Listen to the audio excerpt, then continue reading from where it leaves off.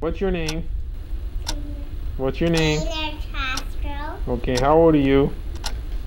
seven, No. you only say I'm three years old. three years old. And what are you gonna sing today for us?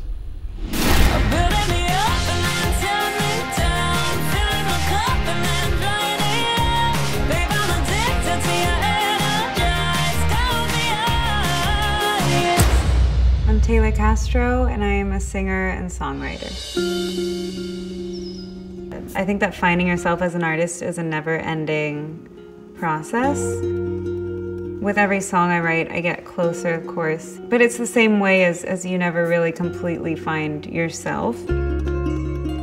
Storytelling is a form of companionship when you don't actually have it in real life. And I think that songwriting or being a storyteller and getting to do that for someone else is a really big honor.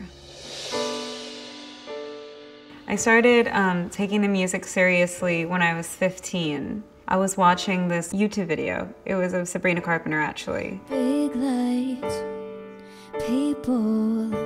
She was just singing one of her songs, uh, Too Young, and it was a, an acoustic cover in a studio with her sister. I remember going like, I, I could do that. I was diagnosed with OCD in fourth grade.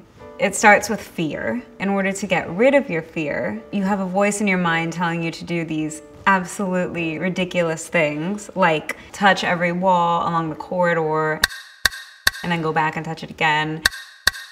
I also have high frequency hearing loss. It's something I've had my whole life, and we make it work. Oh, I'd cross the seven seas to see.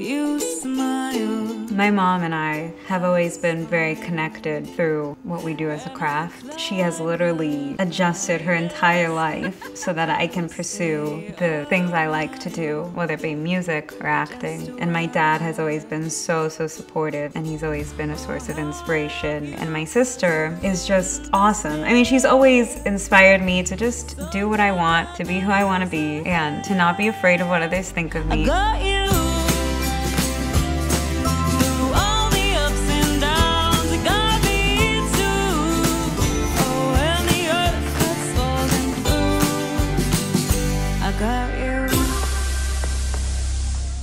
Have a new song out that was recently released. It's called Avoiding Me. MTV Russia just picked it up, which is really cool and exciting. I'm super excited to see how the world reacts to it and for it to be out. I see you with her on the boulevard. We always went to. It's about being pissed off because you're avoided. There's a confidence in it. It's like, literally, why would you avoid me?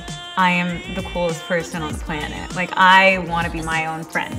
You're the crazy one, like, if you don't want to hang out with me, because I rock, you know?